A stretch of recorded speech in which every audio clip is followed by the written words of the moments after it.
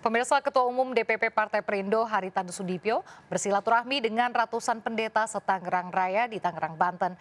Dalam kesempatan ini, HT turut berbagi wawasan dan motivasi terjun ke dunia politik untuk mewujudkan visi misi Indonesia sejahtera.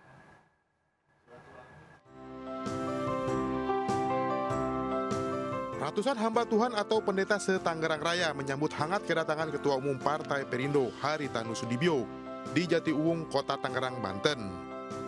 Dalam silaturahmi bersama 500 pendeta ini, HT berbagi wawasan serta motivasi mengenai dunia politik untuk mewujudkan cita-citanya mensejahterakan Indonesia melalui Partai Perindo.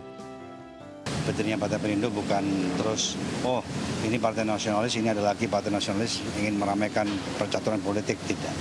Kita betul-betul ingin melihat Indonesia yang maju, yang secara cepat, pengentasan kemiskinan juga berjalan cepat, kesenjangan sosial juga cepat, itu hanya bisa dilakukan dengan kebijakan-kebijakan tepat sasaran.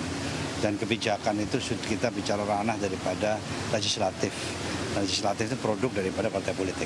AHT juga bukan hanya uh, ketemu dengan hamba Tuhan, tapi para romo-romo dari wihara juga dan uh, para ulama agama Islam juga.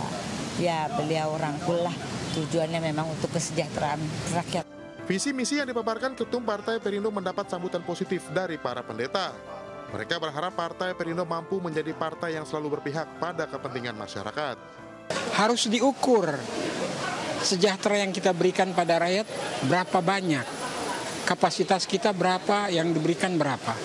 Di situ perlu perjuangan dan pengorbanan, harus berkurban. Acara silaturahmi diakhiri dengan ibadah dan doa bersama agar Partai Perindo bisa lolos ke parlemen dan memberikan hasil maksimal dalam memperjuangkan aspirasi rakyat untuk kesejahteraan Indonesia. Dari Tangerang, Banten, Esra Ambarita Caksono iNews melaporkan.